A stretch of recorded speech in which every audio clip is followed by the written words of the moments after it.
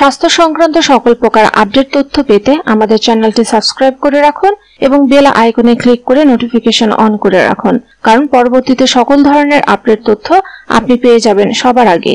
খাবার পর ভুলেও এই কাজগুলো করবেন না।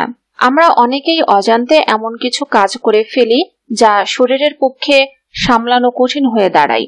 যেমন ধরুন, খাবার খাওয়ার পর অনেকে সিগারেটে টান দিয়ে থাকেন। আবার কারও কারও খাবার পরপরই শুয়ে পড়ার অভ্যাস রয়েছে। খাওয়ার পর অনেকে ফল বা কফিও খেয়ে থাকেন।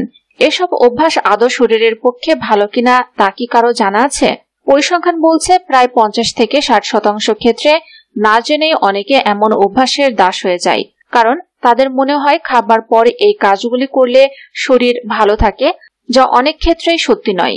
তাই তো আজ আমাদের এই এপিসোডে কিছু বিষয় তুলে ধরব যা খাবার পর করা একেবারে উচিত নয়। আর যদি করেন, তাহলে শরীরের ক্ষতি হওয়ার আশঙ্কা বৃদ্ধি পায়। আর এমনটা হোক, আপনি নিশ্চয়ই চাইবেন না। কি কি অভ্যাসের দিকে নজর দিতে হবে, চলুন চোখ রাখা যাক সেই দিকে এক্ষেত্রে খাবারের পর যে যে কাজগুলি ভুলেও করা চলবে না, সেগুলি হলো, এক, শরীর চর্চা। পেট ভরে খাবার খাওয়ার পর শরীর চর্চা করা একেবারে চলবে না। এমনটা করলে পেটে যন্ত্রণা, পেটে ক্র্যাম্প লাগা মাথা ঘোরায় এবং ডায়রিয়ায় আক্রান্ত হওয়ার আশঙ্কাও বৃদ্ধি পায়। তাই এমন কাজ ভুলেও করবেন না।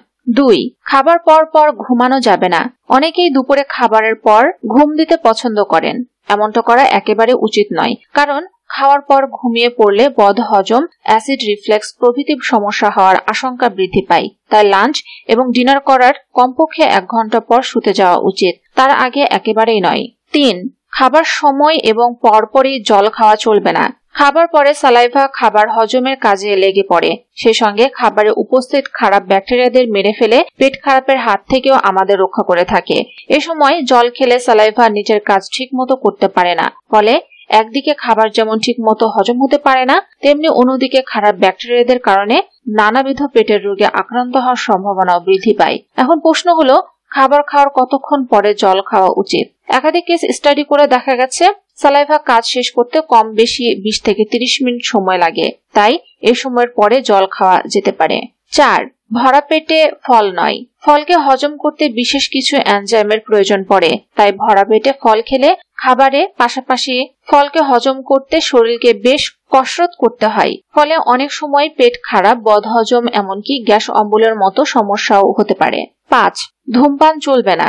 খাবার পর সিগারেট না খেলে শান্তি পান না, এমন মানুষের সংখ্যা নেহাত কম নয়। কিন্তু এমন অভ্যাস শরীরের পক্ষে একেবারে ভালো নয়। কারণ একাধিক গবেষণায় দেখা গেছে, খাবারের আগে এবং পরপরই ধূমপান করলে সিগারেটে উপস্থিত কার্সিজেনিক উপাদান শরীরের বেশি করে ক্ষতি করার সুযোগ পেয়ে যায়, ফলে ক্যান্সারে আক্রান্ত হওয়ার আশঙ্কা কয়েক গুণ বেড়ে যায়। ছয়, খেয়ে উঠে বই পড়বেন না। শুনে একটু অবাক হলেন, তাই তো? কিন্তু এ কথার মধ্যে কোনো ভুল নেই যে খাবার পর পরে বই পড়লে বদহজম হবেই হবে। কিন্তু বই পড়ার সঙ্গে বদহজমের কি সম্পর্ক?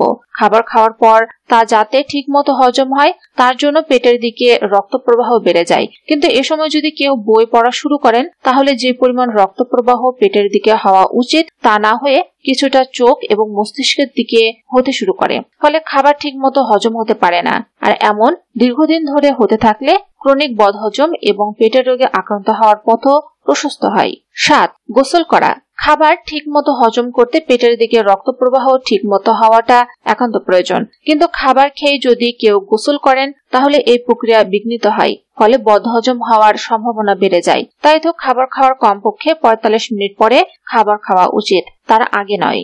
আট, চা পান একেবারেই নয়। চায়ে উপস্থিত ট্যানিক অ্যাসিড খাবারে উপস্থিত প্রোটিন এবং আয়রনের কার্যকারিতাকে কমিয়ে দেয়, ফলে শরীরে পুষ্টির অভাব দেখা দেয়। শরীরকে সুস্থ এবং সচল রাখতে প্রোটিনের কত ভূমিকা রয়েছে তা নিশ্চয় আর বলে দিতে হবে না। সেই কারণেই রাতে বা দিনে কোনো সময় খেয়ে উঠে ভুলেও চা খাবেন না। আমাদের ভিডিওটি ভালো লাগলে অবশ্যই আমাদের চ্যানেলকে সাবস্ক্রাইব করুন। ধন্যবাদ।